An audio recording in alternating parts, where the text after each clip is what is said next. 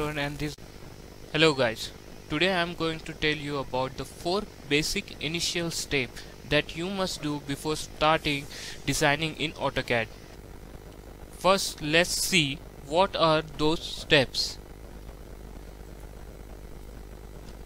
So these are the four steps that you must follow before starting a drawing into an AutoCAD. First step says set unit of a drawing. Here we set a unit of our drawing like a mm. We want to draw in mm or inches. Okay, that's it. Second step tell us we have to set limit of drawing. So here we do we set the limit of our worksheet. We set the area in which we want to work. The third step is zoom into worksheet. After uh, setting limits of our worksheet, we uh, we zoom into it so we can have proper access or proper uh, we can uh, we can have proper access to draw drawing easily. Fourth step set layer for drawing. Before starting a new drawing we must always set a layer for it. So let's start with our first step set unit of drawing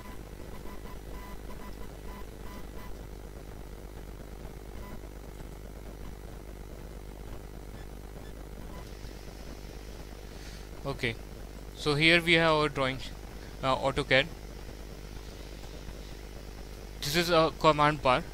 To set uh, set a unit of our drawing we just have to type units on command bar. Okay. The drawing unit pop-up window is open.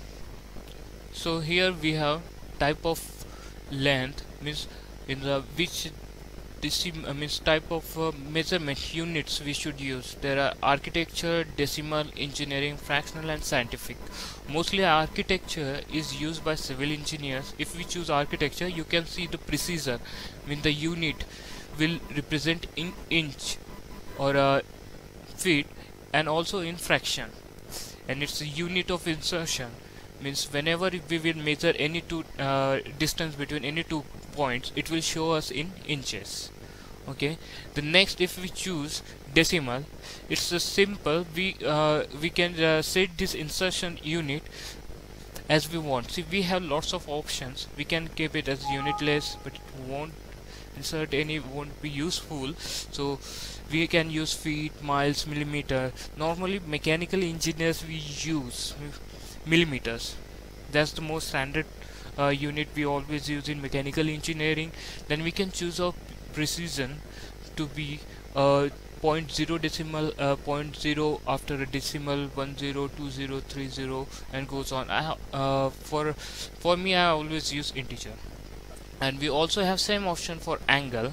So after setting your uh, drawing unit just click on OK let's move forward so this is how we have set our unit of our drawing. Here we are done with our first step. Let's move towards the second step. Our second uh, step says set limits of drawing. To set limit of drawing just write type limits on command bar. Press enter. It says specify lower left corner so we have to like whenever we are uh, trying to sketch or starting to sketch or uh, starting to drawing something on a piece of a paper a piece of paper is our workspace within which we draw our drawing. So here is the same concept. We have to specify the lower left corner of our work uh, worksheet. Let's say uh, I want it to be the origin so 0 comma 0 the upper right corner I want it to be x coordinate 2000 separated by comma and the y coordinate 2000 because uh, actually I um, almost draw some big scale uh, big scales big uh, drawing. So I always use 2000 comma 2000 x and y coordinate. So here we have set our limits of drawing. Okay let me show you one quick example what these limits are, are, are about so let me draw one rectangle. Okay. So here as uh, in uh, first when we uh, ty uh, type limits on our command bar it says specify the first uh, lower left corner. So we defined it as 0 comma 0 so that's our origin. So this is our workspace. This rectangle is our worksheet within which we are going to draw. It's just I'm taking an example to tell you guys. This will be our origin and this will be our upper right corner uh, 2000 comma 2000 okay.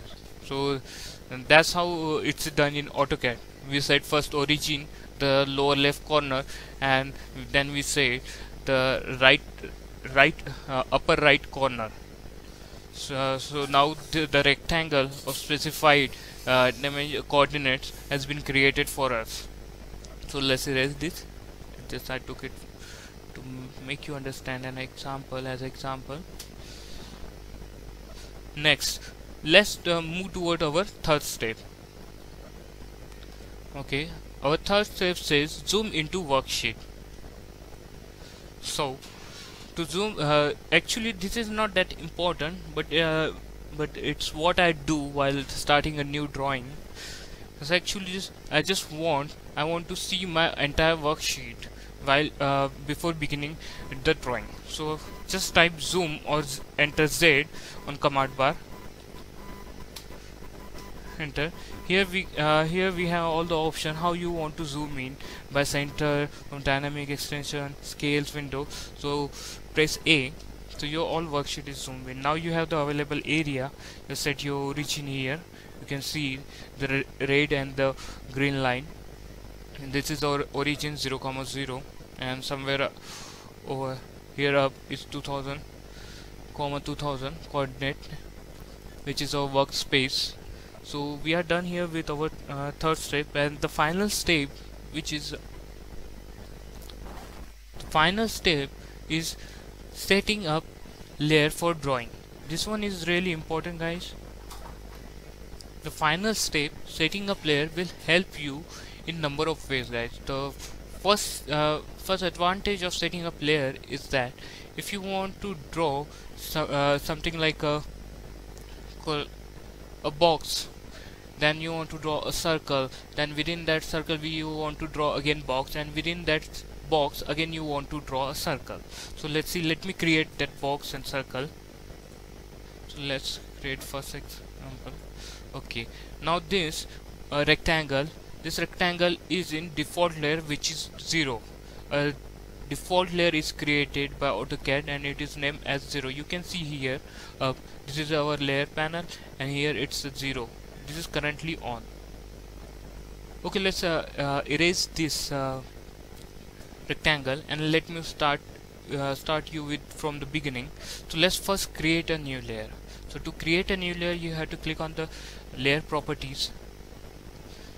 So, so you can see here the status. It says it's uh, the tick it says that the uh, layer name 0 is activated. I want to create a new layer. So I will click on this new layer or alt plus n. I will name it as a rectangle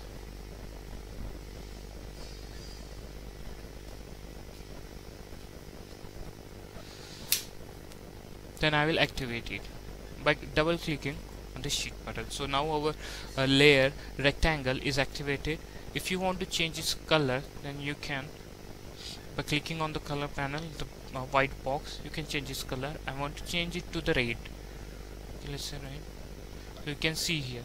We also have uh, benefit of selecting the type of line you want to select. Here it's uh, the continuous solid line you if you see can see again that the load option you have various number of other lines too you can select. Uh, first let's uh, start with the solid line. And you also have the option to select the width of the line. The width of the line means it's the thickness of the line. You can select various number of thickness of the line from 0.00 mm to 2.11 mm so let's uh, let it be the default one. Okay. Close the close this window. Okay now if I, I want to draw a rectangle it will be in red color. Because I have selected the red color to draw a for my layer. So whatever I will draw in this layer it will be in rectangle so let's draw one more rectangle outside this rectangle. Okay. This is done. So now I want to create a circle within this rectangle. Within the small rectangle I want one circle and outside the uh, small rectangle means within the outer rectangle I want one circle. So let's create one more layer of circle. Again the same process. Let's go to the layer properties create new layer name it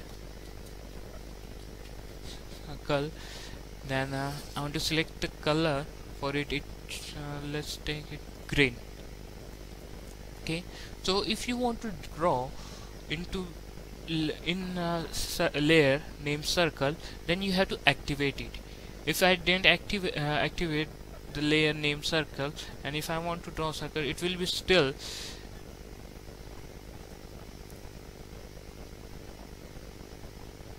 will be say uh, still in the same layer. So see if I draw a circle it will be in the red color. So as I have cre already created a layer named circle I can select it from here circle. Now if I want to draw a circle you can select any two point and draw it. See? Simple.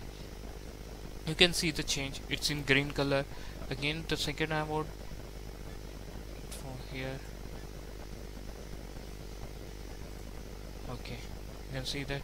Now if uh, someone asks you that he wants only the drawing or printout of the drawing of circle then what you want to do? Because you have already drawn the circle and the rectangle in the uh, in work workspace. But you can't give him the drawing this drawing. So for that there is an option you can turn off your layer. So it will be just invisible for you. If someone says that you uh, he wants a circle drawing then you just turn off the rectangle drawing. You can see. You can give him the printout of this circle and if even if you want to just work in this layer then you can draw on one more circle here. Which it but it won't affect your layer rectangle layer. It won't affect this layer similarly goes for the rectangle now if someone says uh, he wants a rectangle uh, drawing of a rectangle and he doesn't want a circle then I will just turn off the circle layer and the circle will disappear. Circles will disappear. Now I can uh, manipulate draw or manipulate anything do into this layer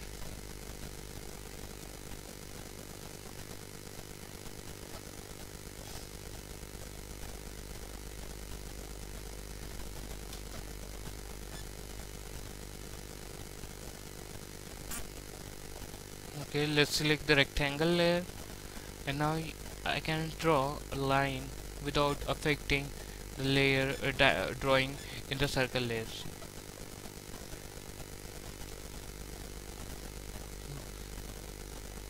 This this is very useful one.